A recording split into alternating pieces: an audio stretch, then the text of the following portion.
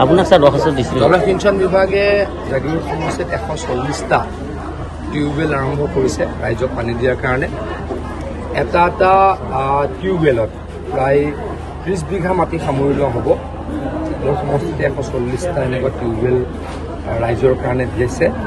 আজি এগৰাকী আমাৰ কৃষকে প্ৰগ্ৰেছিভ ফাৰ্মাৰে খুব ভালকৈ এই আঁচনিখনৰ পৰা ক'লে কেনেকৈ তেওঁ লাভান্বিত হৈছে। আৰু তেখেতে আমাক বুজালে যে এবিঘা মাটিত প্ৰায় আঢ়ৈ লাখ টকা বিলাহী খেতি কৰি তেখেতে উৎপাদন ইনকাম কৰে।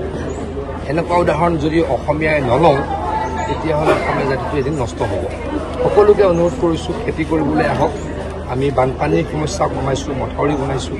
মুখ্যমন্ত্ৰী ডাঙৰীয়াই মিনিমাম এম এছ পি দি মিনিমাম চাপৰ্ট প্ৰাইচ দি খেতিয়কৰ কাৰণে ডাঙৰ এটা পৰিৱেশ সৃষ্টি কৰিছে অতি গুৰুত্বপূৰ্ণ উল্লেখযোগ্য পৰিৱেশ সৃষ্টি কৰিছে। আগতে গাঁৱত আমাৰ বেপাৰীবিলাকে মোন বুলি কওঁ আমি গাঁৱত চল্লিছ কেজিত মোন আগতে চল্লিছ কেজিত চাৰিশ টকা দিয়ে। এতিয়াও মই মানুহক সুধিছোঁ কিমান দিয়ে চাৰিশ চাৰে চাৰিশ টকা দিয়ে।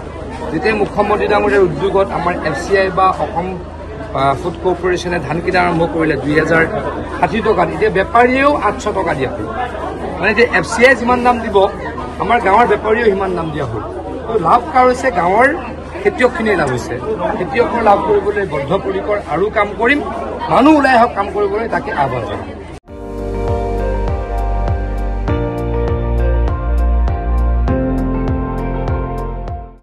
আপুনি চাই আছে এন ডি টুৱেণ্টি ফ'ৰ।